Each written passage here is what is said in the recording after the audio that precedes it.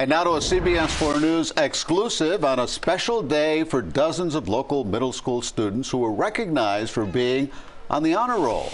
Miami-Dade School Superintendent Alberto Carvalho took the kids to lunch, but as CBS 4's Jacqueline Quynh reports, it was more a lesson on how a little recognition can go a long way.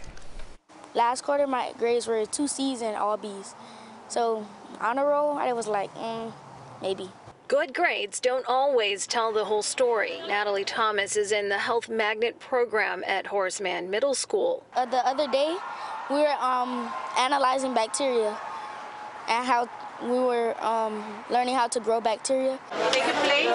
She's one of 60 kids that were bused to Boteco restaurant in Miami Wednesday morning. And I am happy that we're here today. Why? Because many of them don't get out and they don't hear congratulations as much as they should. Uh, Horace Mann is a school with a very high level of poverty, uh, with a high level of students who are still learning English, a very diverse school, but a beautiful school.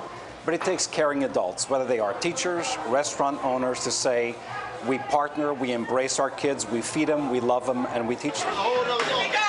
So the idea to reward honor students came as Superintendent Alberto Carvalho watched soccer with Boteco owners. I, I graduated from Hialeah High, Pine Springs Junior High.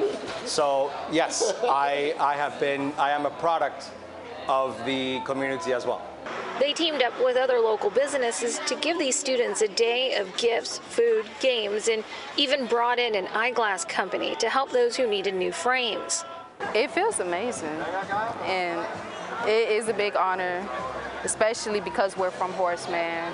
And I'm glad that the teachers and the staff members decided to do this for us.